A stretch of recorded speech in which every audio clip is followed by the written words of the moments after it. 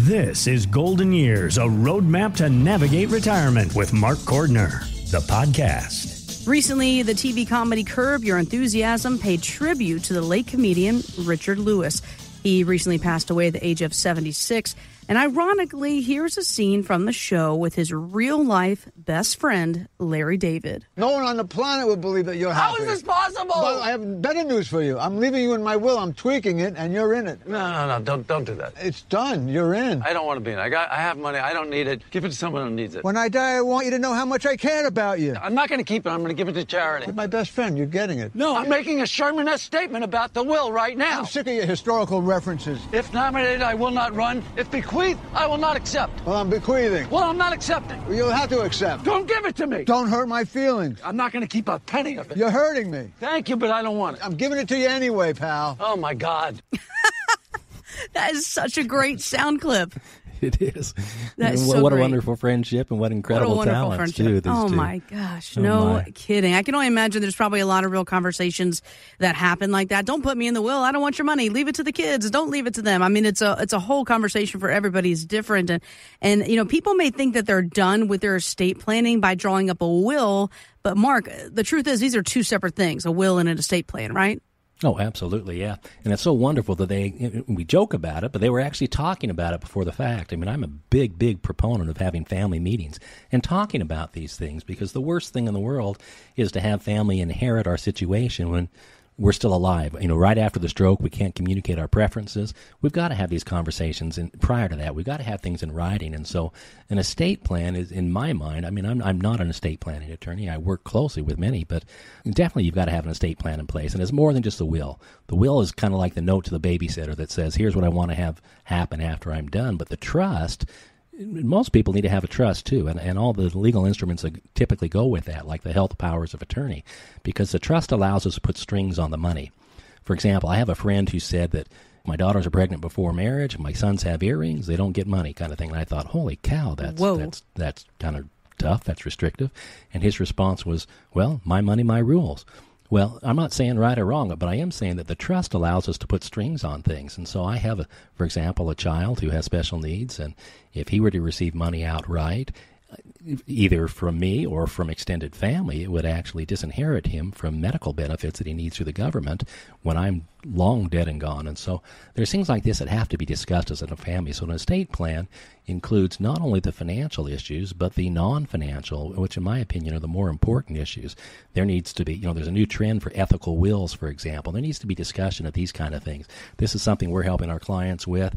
We have these personal financial organizers, and we have all these questionnaires and things to help them start these conversations with their family, doing a video message to the client's children, for example. We help them with these things. And so we want to have clarity before that time comes. We definitely, definitely want to have those health powers and powers of attorney in place so that people can make decisions in our absence, that they know what our preferences were. Boy, I can think of a ton of stories like this. Yeah, you know, interesting here. You talk about you love the family meetings. I do think it's something that certainly needs to be talked about. And then also, guys, by the way, have a conversation with somebody or some of the family members of where your important paperwork is. I went through this with my grandmother. Nobody knew where anything was. Some of the paperwork was in this drawer, some of it was over here, then some of it was outdated, some of I mean, it was all over the place. I mean, it was it was chaotic just trying to make sure we had everything in place there. And you know, you mentioned three words here: a will, an estate plan, and a trust. Now, I think it's common sense. A lot of us know will, right? What do we want to? What are our wishes to be? That kind of thing.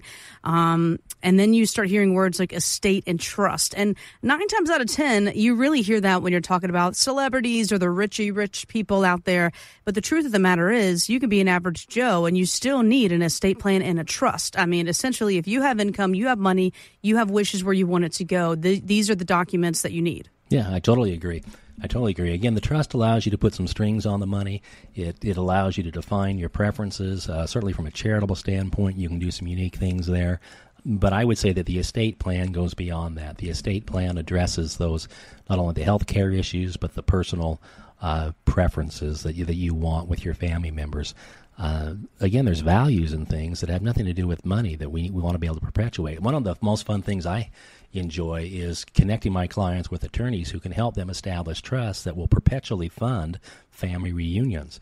And so that money is coming out each year, but only on condition that the family gathers and that the family gathers and in the course of that gathering do certain unique things like for example, each year there's X amount that's allocated for a charity and so all the kids and the grandkids get input on where that money goes. And so when we speak of values, for example, we're speaking about perpetuating the non monetary things. Certainly, we're using money to do it, but mm-hmm. there are certain charities, for example, that may be specifically important to certain clients. And I certainly know in my family there's there's some charities or some organizations that we feel very very strongly about.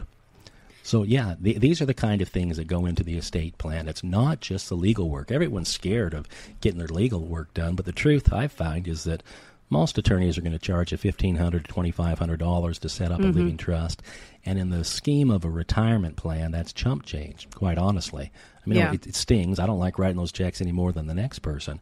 But I remember the first time we did a trust was I don't know twenty five years or so ago with my wife and I, and she was kind of kicking and screaming on this because she didn't want to really deal with it and. I just kept saying, "We got to do it. We got to do it." And it was interesting as we walked out the attorney's door after signing the trust, activating it she turned to me and she said, I feel so much relief. You're like, yes, honey, that's what I've been telling you. well, you know, I don't want to say I, I won't say so, I told you so, honey, but uh, no, no but know. we had that that same sense of relief and that same mm-hmm. sense of joy that you know if something happens to us, things the are kids taken are care of. Be taken care of. They're yeah. you know the money's in place. People know where things are at.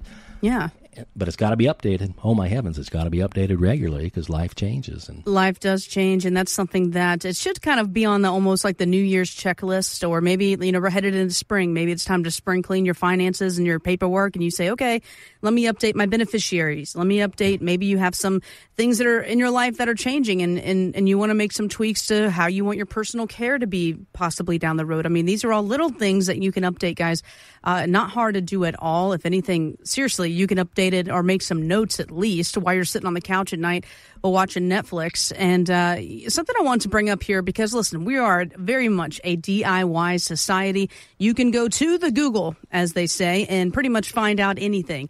What's your comments to those that say, well, I'll just go to Google and put together my will and my, my estate plan and my trust? Google knows everything. I'll just fill in the blanks. Ouch. Please, please, please don't do that, is my response. because again, we don't know what we don't know.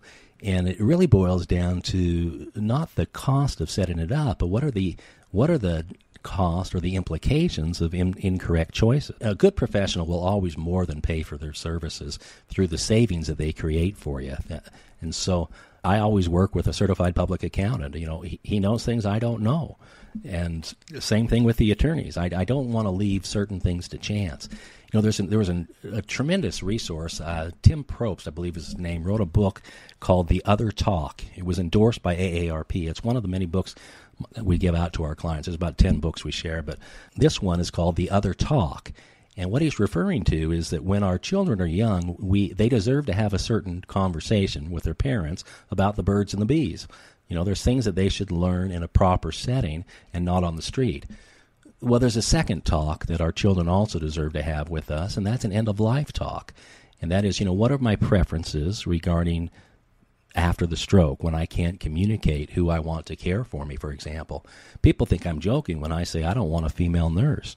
Well, I'm not joking about that because when that day comes when I I don't want my daughter doing certain things for me and my sons mm-hmm. would prefer not doing it, well, then let's let some poor guy get paid well for those services. But I don't want yeah. a woman in there with me that's not my wife. Investment advisory services offered through Golden Years Financial LLC, a registered investment advisory firm. Insurance is offered through Golden Years Insurance Services. These firms do not provide legal or tax advice. Consult your own legal and tax advisors before taking actions that may have tax implications. Investing in securities involves risk, including the potential loss of principal. Insurance contracts principal protection is based on the claim paying ability of the respective insurer. None of the information contained on this website shall constitute an offer to sell or solicit to buy a security or insurance product. The information and opinions contained on this site or requested from this site are provided by third parties believed to be reliable, but accuracy and completeness cannot be guaranteed. They are provided for informational purposes only and are not a solicitation to buy or sell any of the products mentioned. Any media logos and or trademarks contained herein are the property of their respective owners and no endorsement by those owners of Mark Cordner, Golden Years Financial, or Golden Years Insurance is stated or implied.